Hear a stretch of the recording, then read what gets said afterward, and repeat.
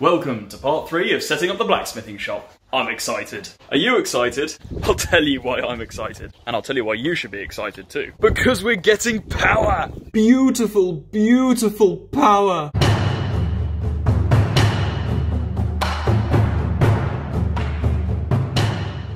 So I touched on this briefly in the last video.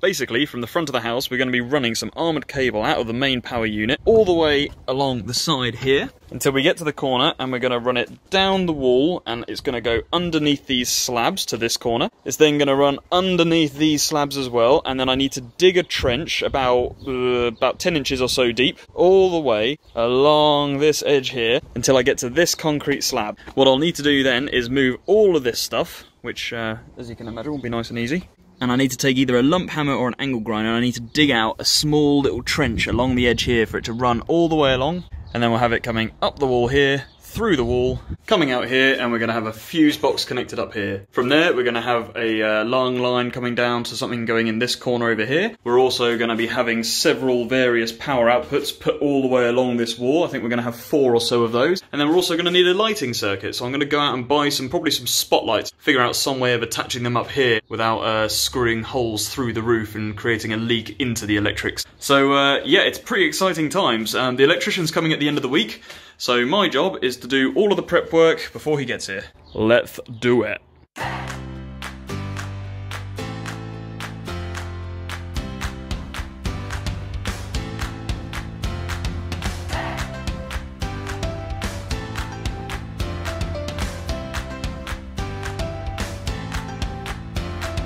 Well, here's part one done. So obviously we're going to run down the wall, we're going to follow this trench through underneath the tiles, then we can just literally lay these straight back on top. I've hit a bit of a snag where I thought this was a tile, but this is actually cement or concrete, so I'm going to have to try and uh, either rip that up or dig through one or the other, I don't really know. And then it'll be onto this section here.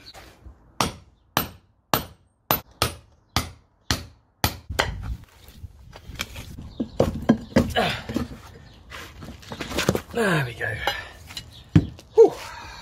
Not easy. So we finally got this chute to join up through here by getting this big rock out of the way. And if you look just round the back, there's a sort of chute for the uh, the wire to run up. And then next step is to rip up all of these blocks over here. So basically it's now a case of getting all of this stuff out of the way and getting these tiles up, which is good because I need to replace them with those ones over there anyway, so killing two birds with one stone I guess.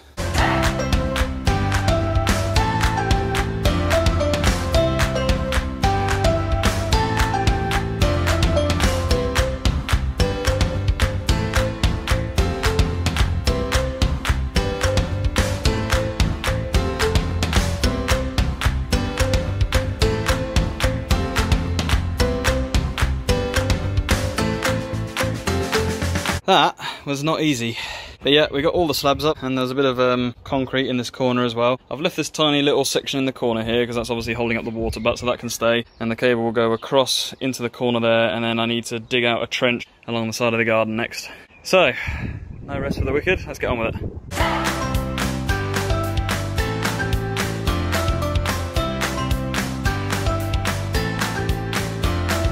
There you go, you get the gist. I'm about halfway down. Still got to do the rest. If you were wondering what I was doing when I kept disappearing off screen, I was replanting the bit of turf that I had put down in this corner. I thought I'd recycle it, because what I've been planning to do for ages is to have this width of stone go all the way down, whereas before it kind of did a bit of a step out and followed this line. So uh, recycling is good. I still need a bit more turf to finish off, but I thought while I'm doing this I might as well, might as well. There we go, as you can see that is now the uh, trench dug, the entire length of the garden, all along the back and up to the wall. Thankfully I haven't had to go as deep on this section because uh, this is going to be patioed eventually, so it'll be the same as the slabs over there. It doesn't need to be deep, it just needs to be uh, covered, as it were. So uh, yeah, I'm going to leave it there for today because I'm absolutely shattered, and then I need to work on uh, this section here underneath the patio. I'm hoping I won't have to do any stone chipping. I might be able to fit it in that small gap, but it depends obviously uh, how far back that goes. Well, it's a new day, and uh, the task is to move all of this lot somewhere else. They're really heavy and I really don't want to do this. Unfortunately, as you may have noticed, all of this is kind of in the way. So we need to do something with that first. Pieces of metal I might hang on to for the time being because they could come in useful, but the bits of wood I think we're just going to burn. So let's get all of this stuff out of the way and uh, figure out pretty much what we're going to do.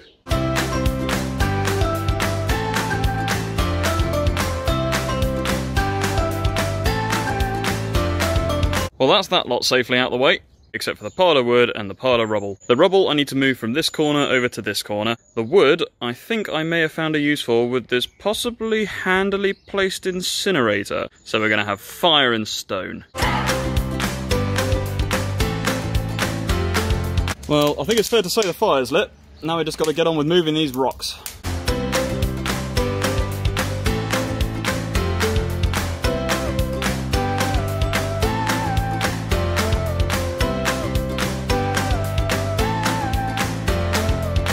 Alright, I'm going to have to take a break for a while. That has absolutely knackered me. I've managed to pretty much reduce this pile by probably two thirds. Got it relatively neatly stacked over there. The rest of it is probably just going to be a pile. I'm probably down about halfway through this wood. The fire's going strong. And I need to try and get rid of that, um, that old compost bin over there, which is absolutely mullered. So I'm probably going to spend the next few minutes chopping that up. Be gone, compost bin. If any of you think I'm over-exaggerating the effort involved in this, then look at the sweat on my brow.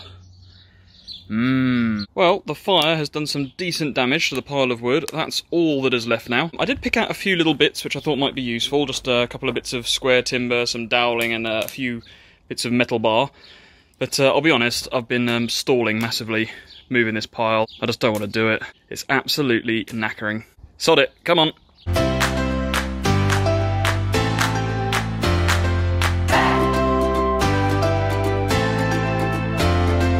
I think that is about as reasonably big as I can get the pile. The rest is all just small little stones and rubble. So I think that's probably just going to have to stay as a pile, but I'll just sort of sweep it over into this corner here so I can get access to this concrete slab underneath. Oh, I made it angry! That took a long time, but now we finally have the clear edge. So we can now look into uh, whether or not we need to cut the stone or hopefully we can get away with it. We will see. So the long and short of it is we'll need to cut the stone. Um, there are areas like here where it does go a little bit wider just to get around the fence post, but unfortunately like down here and then pretty much all along this edge it goes back into like a pincer, so yeah we're to have to cut a groove unfortunately. Time to get the angle grinder out with the stone cutting disc.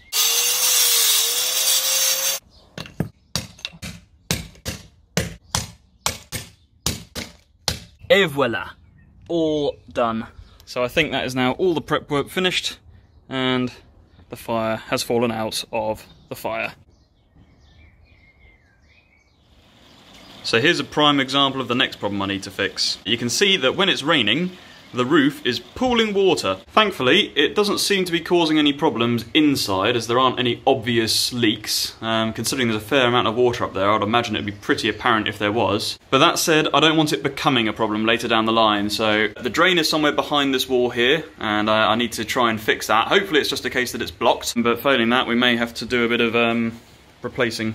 I think, however, I'm probably going to wait until it stops raining before I tackle this problem. It's kind of cool that it's a day later and this thing is still ridiculously hot. So in the immediate now, while I've got some time to kill, uh, I've decided I'm going to start mounting some lights. I've bought two sets of spotlights, these ones here, uh, and I'm going to be putting one up sort of round here somewhere and then one up round here somewhere.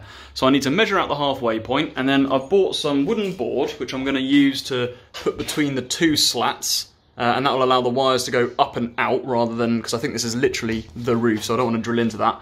So that'll give me a little bit of wiggle room to feed the wires through when the electrician comes. I'm going to paint this white, uh, and then I bought some nice little bits of, um, I think it's aluminium trim, which fits nicely, and that'll just make it look pretty.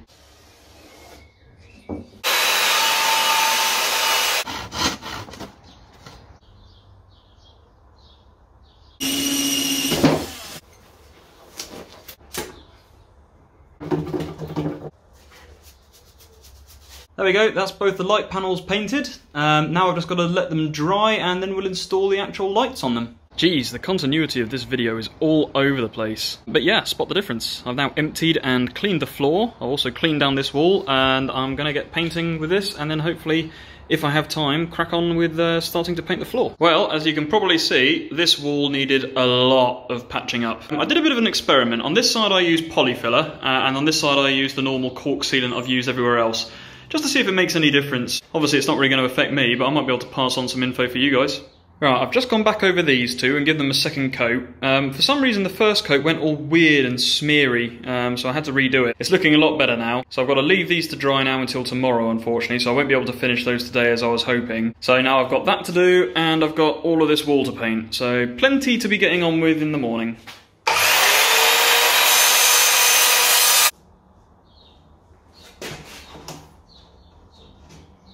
Well, I was planning on gluing these side bits on, but actually, they're such a tight fit, I think I'm going to leave them as they are. They've come out pretty nicely.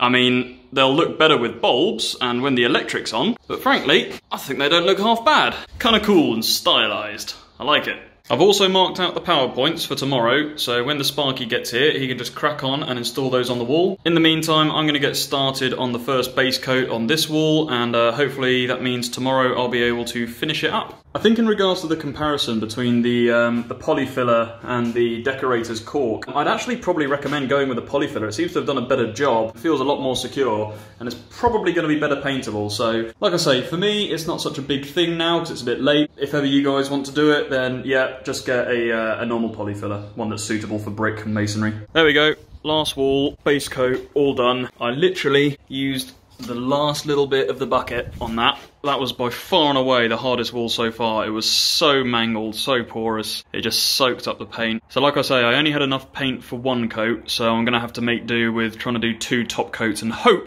that that will cover it. So it's the end of the first day of the Sparky being here. He hasn't actually started on attaching the uh, electrics to the box yet, but he has run the armoured cable through, and I'll show you where we're up to. So he's drilled it through and it's running all the way along the side of the house here. We've run it underneath as you saw yesterday uh, and I've spent the day putting down the slabs. I've redone these slabs with the longer ones instead of uh, these square ones here. I just think it looks nicer. Um, I've also gone over the edges with the turf I bought. You can see I filled in the trenches, so the armoured cable runs all the way along here underneath all of this, and again, we've returfed it. You can see it comes out again there, because obviously there's no point doing anything to that until uh, the patio here has been laid. And then inside it runs up to the fuse box, which again, obviously hasn't been done yet. He's then put on the four sets of power sockets, a double gang light switch, which again is not yet connected. He has attached the lights and then he's put the other double gang socket in the corner here. So all in all, it's looking pretty good for a day's work. So tomorrow he's got to come back, he's got to obviously connect up all these little bits and pieces. I might actually end up switching out these sockets anyway. He's got to obviously set up the fuse, he's got to line up the switch, and he's also got to do the stuff at the front. What I've been doing with my time today, besides clearing up his mess, is I've run an Ethernet cable, again through the same hole. I was originally planning on running it underground as well, but I thought actually it's probably going to be better as it's not such a strong cable to run it over. So I've secured it all the way along the fence. Once you get to this corner, I've run it up and you can see I've attached it underneath the guttering, so it's sort of quite sneaky and subtle. You wouldn't really know it was there. I've then run it along the top of the lean-to, it goes down behind the door, along here, and then it goes into the wall there. I then had to take out the side panels and the wire comes through. I've run it underneath this one. It then comes through here where the waste pipe is for the washing machine runs all the way behind the washing machine. And then as described, it comes out here just next to the router.